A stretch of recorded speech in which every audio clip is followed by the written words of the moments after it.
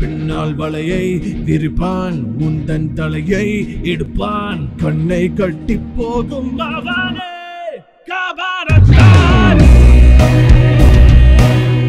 உங்கள் அபிமான திரையரங்குகளில் வெற்றி நடை போடுகிறது.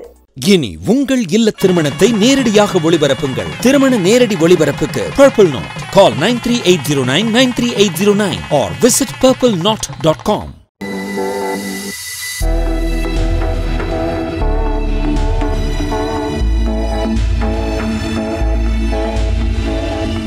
அங்காடி திருப்படத்துக்கு அஞ்சலியை எப்படி சூஸ் பண்ணீங்க? உங்களோட சாய்ஸ் ஃபர்ஸ்ட் அவங்களா தான் இருந்தாங்களான்னு குரு கேட்டிருக்காங்க. ஃபர்ஸ்ட் அவங்களா இல்லை. அந்த படத்தில் வந்து இன்டர்வல் ஒரு பொண்ணு மேலேருந்து கீழே வந்து செத்து போயிடும் அந்த பொண்ணாக தான் இருந்துச்சு ஆக்சுவலாக ஹீரோ செலக்ட் பண்ணிட்டேன் அந்த பொண்ணையும் செலக்ட் பண்ணிட்டேன். அந்த பொண்ணு பிரமாதமாக நடித்தா ஆனால் என்னன்னா ரொமான்ஸ் சீனை வந்து எப்படி கேரியர் பண்ணுவா அப்படின்னு தெரில ஏன்னா அந்த பொண்ணு ஒரு திருநெல்வேலி பொண்ணு. இந்த பையன் ஒரு திண்டுக்கல் பையன். திடீர்னு நீங்கள் ரொமான்ஸ் பண்ணுங்க அப்படின்னு சொன்னால் அவன் ரொம்ப கூச்சப்படுவான் அதோட அவள் கூச்சப்படுவாள் மிச்ச எமோஷனலாக பேசுகிற சீன்லாம் பண்ணிடுவாங்க. ஆனால் ஒரு கட்டி பிடிச்சி ரொமான்ஸ் பண்ணணும் இதில் ரொம்ப சிக்கலாயிருமே அப்படின்னு யோசிச்சுக்கிட்டே இருந்தேன். அப்போ தான் கட்டுரை தமிழ் ரிலீஸ் ஆகிருந்தது ஸோ அவங்கள கூப்பிட்டு அஞ்சலியை கூப்பிட்டு டெஸ்ட் ஷூட் பண்ணேன். அவங்க அதை கேரி ஓவர் பண்ணிட்டாங்க. அவங்கள்ட்ட நான் சொன்னேன் இந்த மாதிரி வந்து இந்த பையன் வந்து புது பையன் அப்போ தான் ப்ளஸ் டூ முடிச்சிருக்கான். ஸோ வந்து அவன் அந்த ரொமான்ஸ் விஷயத்தில் கொஞ்சம் அவன் கொஞ்சம் கூச்சப்படுவான் வெக்கப்படுவான். நீங்கள் தான் அதை வந்து இனிஷியேட் எடுத்து இந்த படமே ஒரு காதல் படம். அந்த அந்த காதலை வந்து கொண்டு வந்துடணும் அப்படின்னு சொல்லி அஞ்சலிகிட்ட சொன்னேன். அதை நான் பார்த்துக்கலாம் சார் அப்படின்னு சொல்லி. முத நாளே வந்து அவன் கையை பிடிச்சிட்டு அப்படி நடந்து வர்ற மாதிரி அதை வந்து ஒரு ஸ்டில் ஷூட் எடுத்தோம். அதை பார்த்தப்பே அவ்வளோ அழகாக இருந்துச்சு. அவன் வந்து ஒரு திடீர்னு ஒரு பெண் கையை பிடிச்சோன்னே அவன் சின்னதை வைக்கப்பட்டான். அந்த ஸ்டில் எடுத்தோம். ரொம்ப அழகான ஸ்டில் அது.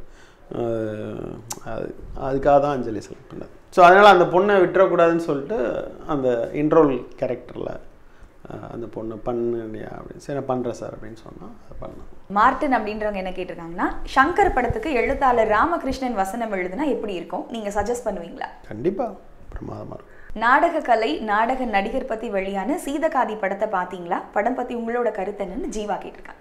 எனக்கு ரொம்ப பிடிச்சிருந்துச்சி. மதுரையில இருந்து பிரகாஷ் அப்படின்றவங்க என்ன கேட்டிருக்காங்கன்னா எனக்கு ஏதாவது ஒரு புக் சஜஸ்ட் பண்ணுங்க. இதர் ஹிஸ்டாரிக்கல் இல்லைன்னா லவ் சம்பந்தமான புக் வேல்பாரி. தமிழ் சினிமா இப்போ வளர்ச்சி அடைஞ்சிருக்கா? இல்ல அழிஞ்சிட்டு வருதா? உங்க பார்வையில தமிழ் சினிமாவோட நிலை இப்போ எப்படி இருக்குன்னு நினைக்கிறீங்கன்னு தமிழ் செல்வி சுதேசி நேசன் கேட்டிருக்காங்க. தமிழ் சினிமாவில் என்னன்னா எல்லாமே இருக்காங்க. இங்கே திரைக்கதை ஆசிரியர்களுடைய பங்களிப்பு இல்லாமல் இருக்குது திரைக்கதை ஆசிரியர்கள் உருவாகவே இல்லை. தமிழ் சினிமா இன்னும் செழித்து ஓங்கணும்னா எல்லா துறையிலையும் நம்ம வந்து வெல் சவுண்ட் ஆக்சுவலாக டெக்னிக்கலாக நம்ம வந்து கேமரா எடிட்டிங் மியூசிக் எல்லாத்துலேயுமே நம்ம வந்து வெல் சவுண்டாக இருக்கும் டைரக்ஷன் எல்லாத்துலேயுமே. ஆனால் நமக்கு வந்து ஸ்க்ரீன் ப்ளே ரைட்டர்ஸ் இந்த ஏரியா ரொம்ப வீக்காக இருக்குது அந்த அந்த இடத்துல ஒரு பெரிய குழு உருவாக வேண்டியிருக்கு. இப்போ வந்து ஒரு படத்துக்கு டைரக்டராக இருந்தாருன்னா அவரே ஸ்கிரிப்ட் எழுதி படம் பண்ணி அப்படிங்கிற ஒரு சூழல் இருக்குது அது அது மாறணும். அப்போ தான் தமிழ் சினிமா வந்து மலையாள சினிமாவை போல் ஹிந்தி சினிமாவை போல் ரொம்ப இப்போ இப்போ அந்தாவதூன் படத்துக்கு வந்து நாலு ஸ்க்ரீன் ரைட்டர்ஸ் எழுதியிருக்காங்க. அது மாதிரி வந்து பாம்பேயில் வந்து நிறைய ஸ்க்ரீன் ரைட்டர்ஸ் உருவாயிட்டாங்க. எல்லா படங்களுக்குமே. இப்போ வந்து ஒரு வெப் சீரிஸ் பண்ணால் கூட பாதாலோக் மாதிரியான ஒரு வெப் சீரிஸ்க்கு வந்து ஒரு அஞ்சு ரைட்டர்ஸ் எழுதுகிறாங்க ஸோ அப்படி ரைட்டர்ஸ் எழுதணும். ரைட்டர்ஸ் நிறைய வரணும் உருவாகணும் தமிழில். அந்த சூழல் வந்து இங்கே உருவாகவே இல்லை. அது எப்படி உருவாக்குறதுன்னே எனக்கும் தெரியல. ஸ்க்ரீன் ரைட்டர்ஸே உருவாகி வர மாட்டேன்றாங்க டைரக்டரே எல்லா வேலையும் நம்மளே செய்ய வேண்டியிருக்கு.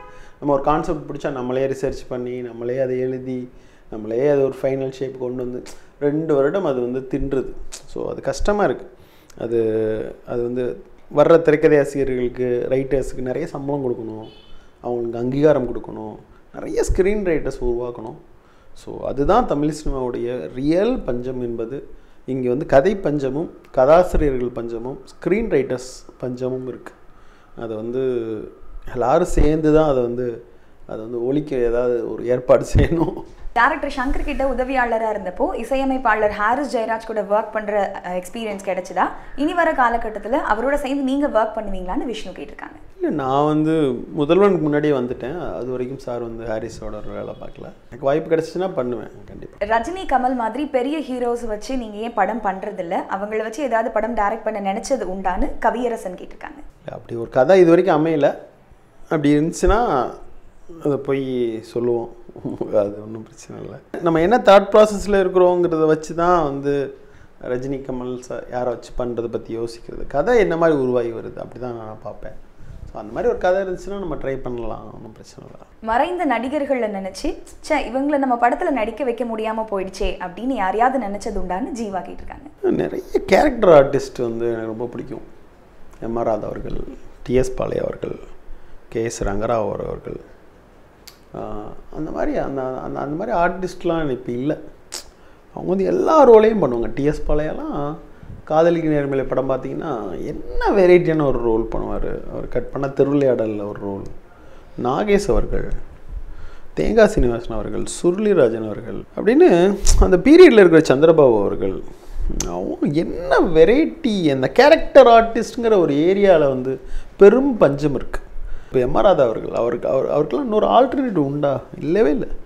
டிஎஸ் பாளையாலாம் அந்த தில்லானா மாவானம்பாலில் ஒரு சீன் இருக்கும். அப்படி ஒரு நடிகன் பா! இப்போ இன்னைக்கு கேரக்டர் ஆர்டிஸ்ட்டாக அப்படி நடிகர்களே இல்லை. காமெடியிலையும் சரி. சிவாஜி அவர்கள் உண்மையிலே தேவர் மகன் படம் பார்த்தீங்கன்னா தெரியும். அப்படியே சிங்க மாதிரி இருப்பார். இன்ட்ரோல் வரைக்கும் தான் வருவார். ஆனால் ஒவ்வொரு காட்சியுமே ஒரு தம் தூக்கி சாப்பிட்ற முடியும் அப்படின்னா அந்த சீனில் பார்த்தீங்கன்னா ஒரு சீன் இருக்கும். கமல் சார் வந்து அப்படியே தூணுக்கு மறைவாக பம்மி நின்று பேசுகிற மாதிரி இருக்கும். அப்படி ஆளுமை பொருந்திய நடிகர்கள் கொண்ட ஒரு தமிழ் சினிமா. ரியலாக மிஸ் பண்ணுறேன் வந்து டிஎஸ் பாளையா போன்ற நிறைய பழைய நடிகர்கள். அவங்களுக்கு ஒரு கதாபாத்திரம் கொடுத்துட்டா அவங்க வந்து அதை பிச்சு ஒத்தறிடுவாங்க வந்து அவ்வளோ தேங்காய் சீனிவாசன்லாம் வந்து காசே தான் கடவுளடாம் படத்துல எல்லாம் ஐயோ கவியரசு அப்படின்றவங்க என்ன கேட்டிருக்காங்கன்னா டைரக்டர் சங்கர் கிட்ட உதவி இயக்குனரா பணிபுரிந்த தருணங்கள் பத்தி சொல்லுங்க. சாய் வித் சித்ரால என்னோட இன்டர்வியூ இருக்கும். அது ஒரு ஏழு எபிசோட் இருக்குது அதை பார்த்தீங்கன்னா என் வாழ்க்கை வரலாறே இருக்குது நீங்கள் அதை பார்த்து தெரிஞ்சுக்கோங்க. நீங்க எப்போ நடிகர் தனுஷ்க்கு ஒரு கதை சொல்லி அவர் கூட படம் பண்ண போறீங்கன்னு மோனிஷ் கேட்டிருக்காங்க. ஆக்சுவலாக அங்காடி தெருவே வந்து தனுஷ் அவர்களுக்கு தான் ஃபஸ்ட்டு சொன்னேன். அவர் தான் சொன்னார் வந்து இது ஒரு யங்காக ஒரு புது பையன் பண்ணால் ரொம்ப நல்லாயிருக்கும் அப்படின்னு சொல்லிட்டு. ஸோ இப்போ ரெடியாக இருக்குது அவர் எப்போ கேட்டாலும் இம்மீடியட்டாக அது நடக்கும். அந்த கேட்குற அந்த தருணத்திற்காக காத்திருக்கிறேன்.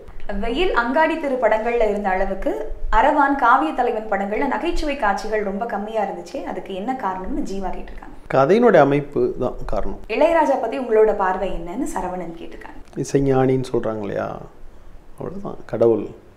இசை கடவுள் அவர் தான் ஏன்னா எழுபத்தி ஆறிலிருந்து இன்னைக்கு ரெண்டாயிரத்தி இருபது வரைக்கும் ஒரு இசை ஆளுமை வந்து இன்னும் தொடர்ந்து தன் அவருடைய இசையால் நம்மளை தாளாட்டி பாராட்டி எப்போ ஒரு லாங் ட்ராவல் போனாலும் இசை இளையராஜா மியூசிக் ராத்திரி தூங்கணும் காலைல எழுந்திரிச்சாலும் சரி அதை கிளிக் பண்ணி விட்டால் நம்மளை வந்து மனசை டிஸ்டர்ப் பண்ணாமல் தாட்டி மனசுக்குள்ளே தேனை போல் தேனை வந்து நாக்கில் ஊற்றுறீங்க அப்படியே போய்கிட்டே இருக்கும் உள்ள. அது மாதிரி ஒரு தேனை போல் ஒரு தென்றலை போல நம்மளுக்குள்ளே அப்படியே ஒரு ஒரு காற்றை போல் நம்மளுக்குள்ளே சுவாசிச்சுக்கிட்டே இருக்கிற ஒரு பாட்டு வந்து எவர் கிரீன் வந்து இளையராஜா சாங்ஸ் தான். ஸோ நிஜமாகவே இசை கடவுள் அவர் வந்து. அது மட்டும் இல்லாமல் அவருடைய வாழ்க்கை அவருடைய டிசிப்ளின் நம்ம அவர்கிட்ட வந்து நிறைய கற்றுக்க முடியும். காலையில் ஏழு மணிக்கு வந்தாருன்னா ஒம்பது மணிக்கு வீட்டில் போய் படுத்து தூங்கிடுவார். அந்த டிசிப்ளின் அப்புறம் ஒழுக்கமாக இருக்கிறது அப்புறம் வந்து தொடர்ந்து இடைவிடாத வேலை செஞ்சு பல வெற்றிகளை சாதிக்க முடியும் நம்பினது. அவர் எந்த இடத்துலேருந்து அந்த தன்னுடைய வெற்றியை துவங்கினார். அந்த இடம் ரொம்ப முக்கியம். எல்லோரும் நினைக்கிறாங்க எங்கள் அப்பா இல்லை அம்மா இல்லை எங்களை படிக்க வைக்கல. நாங்கள் வந்து அந்த மாதிரி ஒரு ஒடுக்கப்பட்டத்தில் என்னமோ இருக்கிறோம் அப்படின்னு என்னமோ சொல்கிறாங்க எல்லாத்தையும் ஒதுக்கி விட்டுட்டு எந்த இடத்துலேருந்து அந்த மனிதர் வந்து எழுந்து இன்னைக்கு வந்து ஒரு விஸ்வரூபமாக அப்படி நிற்கிறாருன்னா அது விடாமுயற்சி உழைப்பு திறமை டேலண்ட்டு அந்த டேலண்ட்டை வளர்த்துக்கிறதுக்கு அவர் அவர் பங்கு என்ன ஒரு கிராமத்துலேருந்து வந்த ஒரு மனுஷன் வந்து வெஸ்டர்ன் மியூசிக் கற்றுக்கிட்டு விற்கிற மாதிரி ஒரு படங்கள் அக் அக்னி நட்சத்திரம் மாதிரி ஒரு படம்.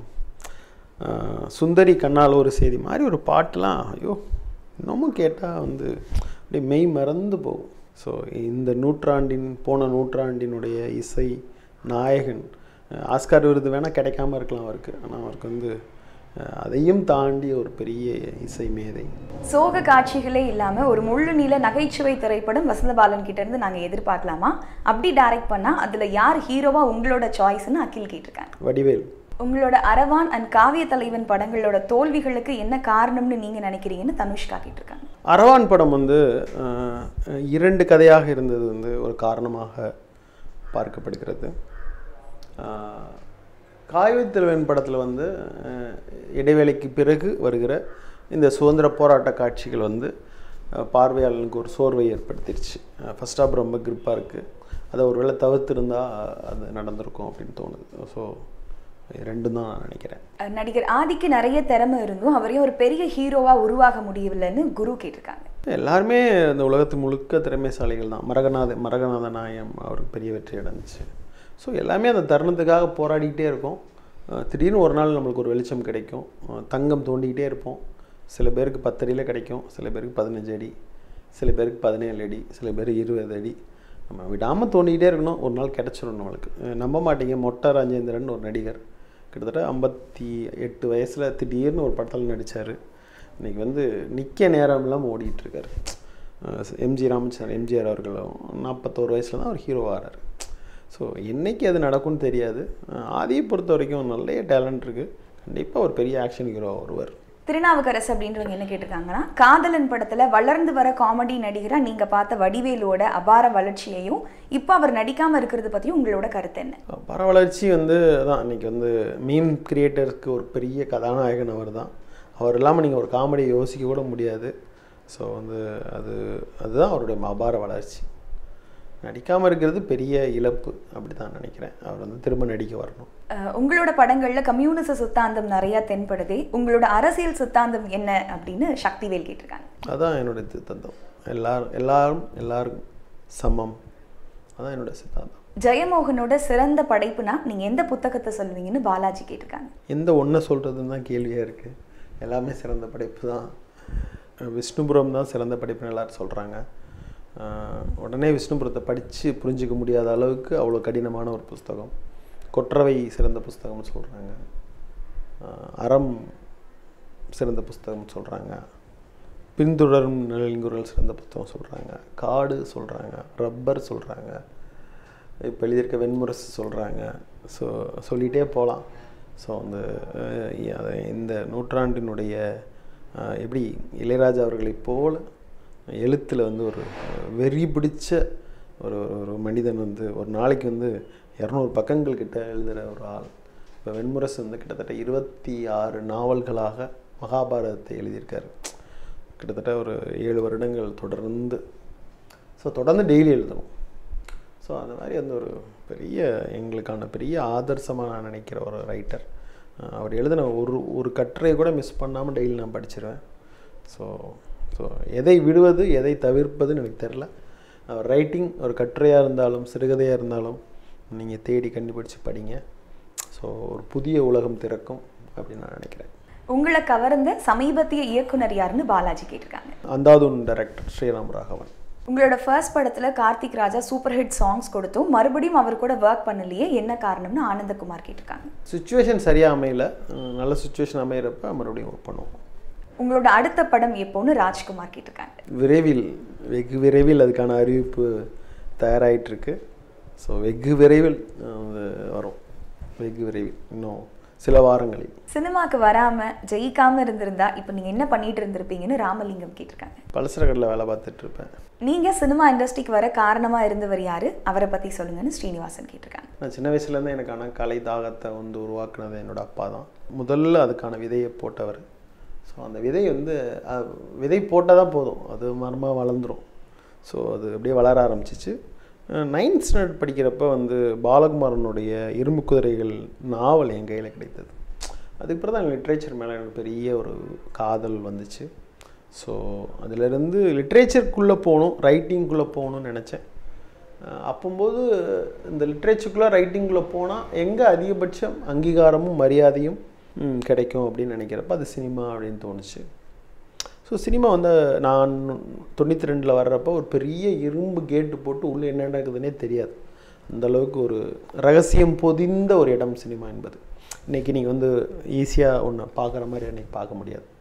ஸோ அப்போது இந்த இந்த இரும்பு கேட்டுக்கு பின்னாடி என்ன தான் இருக்குது இந்த ரகசியம் என்னவா தான் இருக்குது அப்படின்னு தெரிஞ்சுக்கணும்னு பெரிய ஆர்வம் இருந்தது. ஸோ அந்த ரகசியத்தை காணும் ஆவலுடன் தான் எல்லாமும் கலந்து தான் நான் வந்து சினிமாவுக்கு வந்தேன். உங்க சீனியர் இயக்குனரான ஏ வெங்கடேஷ் பத்தி சொல்லுங்க. அவருக்கு நீங்க கொடுத்த கருங்காலி அந்த கேரக்டர் பத்தி சொல்லுங்கன்னு திருநாவுக்கரசு கேட்டிருக்காங்க. ஆக்சுவலாக நான் ஜென்டில்மேன் படத்தினுடைய அசோசியேட் டைரக்டர் வந்து வெங்கடேஷ் சார் அவர்கள். ஸோ அசோசியேட் டைரக்டர் இருக்கிறதுங்கிறது என்னென்னா வந்து டைரக்டருக்கு வந்து எந்த டென்ஷனுமே கொடுக்காம எல்லா டென்ஷனையும் தான் தலையில் ஏற்றிக்கிட்டு எல்லாரையும் திட்டி வேலை வாங்கி அந்த படம் சிறப்பாக வரணும் அப்படின்னு போராடுறது தான் ஒரு அசோசியேட் டைரக்டருடைய கடமை. அதனால் அவர் எப்பயுமே கட்டு கட்டு கட்டு கட்டுன்னு டென்ஷனாக சுற்றிக்கிட்டே இருப்பார். சங்கர் சாருக்கு எந்த டென்ஷனுமே வர விடாமல் எல்லாத்தையுமே ஒரு அணை போட்டு தடுத்து எல்லாரையும் திட்டி வேலை வாங்கிட்டே இருப்பார். ஸோ எனக்கு வந்து அப்போ வந்து ஆனால் இந்த ஆள் வந்து திட்டிகிட்டே காணமலை அப்படின்னு சொல்லி ரொம்ப கோபமாக இருக்கும். அப்புறம் அந்த படம் முடிந்த பிறகு அவர் வந்து ஒரு படம் டைரக்ட் பண்ண தனியாக போயிட்டார். எனக்கு வந்து அந்த கதாபாத்திரம் வந்து அங்காடி தெருவில் யோசிக்கிறப்ப இப்படி ஒரு மேனேஜர் அப்படின்றப்ப அவர் சரியாக இருப்பார்னு தோணுச்சு. அவர் வந்து கோயில்பட்டிக்காரர். ஸோ எனக்கு வந்து இந்த தூத்துக்குடி ஸ்லாங் பேசணும். ஸோ ஸ்லாங் அவருக்கு ஈஸியாக வரும்னு தோணுச்சு. அப்புறம் அந்த கடுகடுன்னு இருக்கிற ஒரு முகம் அப்புறம் அந்த சோடாபுட்டி கண்ணாடி இது இன்னும் மனசில் பதிஞ்சிருந்துச்சு. ஸோ அதனால் அவர்கிட்ட போய் கேட்டேன் அவர் ஈஸியாக பண்ணுறேன்னாரு ரெண்டாவது வந்து இன்னொரு விஷயம். அவர் வந்து ப எங்களுக்கு ஷூட்டிங் நைட்டு அவர் பகலில் அர்ஜுன் படம் ஒரு படம் டைரக்ட் பண்ணிகிட்டு இருந்தார். அந்த படம் டைரக்ட் பண்ணி முடிச்சுட்டு ஷூட்டிங் முடிச்சுட்டு கிளம்பி வந்து நைட் எங்கள் படத்தை முடிச்சு கொடுத்துட்டு அடுத்த நாள் காலையில் மறுபடியும் அந்த படம் போகணும். டே நைட் எனக்காக வந்து வேலை பார்த்தார். முடியாதுன்னு கூட சொல்லியிருக்கலாம். இருந்தாலும் ரொம்ப ரொம்ப அன்பின் மிகுதியில் வேலை பார்த்தார். ஸோ இந்த நேரத்தில் அவருக்கு நான் நன்றி சொல்லி கடன்பட்டிருக்கேன் ஒரு ரியல் லைஃப் ஸ்டோரியை படமா பண்றதுக்கு உங்களுக்கு விருப்பம் இருக்கான்னு ரங்கராஜன் கேட்டிருக்காரு. ஆல்ரெடி பண்ணிட்டேனே. பண்ணிட்டு தானே இருக்கேன். வெயிலில் இருந்தால் தானே. இப்போ இருக்கக்கூடிய நடிகைகள்ல ரொம்ப சூப்பரா நடிக்கக்கூடிய நடிகைனா நீங்க யாரை சொல்லுவீங்கன்னு பிரியா கேட்டிருக்காங்க. எல்லா நடிகைகளும் நல்ல நடிகர்கள் நடிகைகள் தான். ஆனால் அவங்களுக்கான கதாபாத்திரம் சுச்சுவேஷன் உருவாகணும்னு நினைக்கிறேன். இப்போ த்ரிஷா இருக்காங்க. அவங்க பிரமாதமான ஒரு நடிகை. ஆனால் அவங்களுக்கு ஒரு நைன்டி சிக்ஸோ ஒரு விண்ணை தாண்டி வருவாயோ வர வேண்டியிருக்கு. இப்போ கீர்த்தி சுரேஷ் இருக்காங்க. பிரமாதமான நடிகை. ஆனால் அவங்களுக்கு ஒரு நடிகையர் திலகம்னு ஒரு படம் வர வேண்டியிருக்கு. ஸோ இப்படி எல்லா நடிகைகள் நடிகைகளுக்குமே பெஸ்ட் பார்ட்டுன்னு ஒன்று இருக்குது ஆனால் அதுக்கான கதை அமையணும் சுச்சுவேஷன் அமையணும் கதாபாத்திரம் அமையணும். அப்போ தான் அவங்க அழகாகவும் தெரிவாங்க நல்லாவும் நடிப்பாங்க. அது வந்து கதை தான் முடிவு பண்ணுது. ஸோ என்னைய பொறுத்த வரைக்கும் இவங்க மோசமான நடிகை அப்படிலாம் சொல்ல மாட்டேன் அஹ் இவ்வளவு நேரம் ரொம்ப அழகா நேர்களோட கேள்விக்கு ரொம்ப தெளிவா பொறுமையா ஆன்சர் பண்ணீங்க. ரொம்ப thanks thank you thank you thank you பரபரப்பான சினிமா செய்திகள் நட்சத்திரங்களின் பேட்டிகள் சினிமா வரலாறு ஆகியவற்றை பார்க்கவும் படிக்கவும் உங்களுக்கான இணையதளம் tour and talkies dot co